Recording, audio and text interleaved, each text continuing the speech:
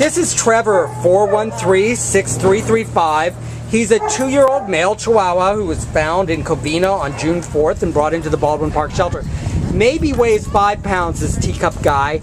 Uh, incredibly good-natured guy, good in all situations, very curious, wants to sit on your lap at all times, would far prefer to be carried than walked on the leash, but he does walk well on the leash.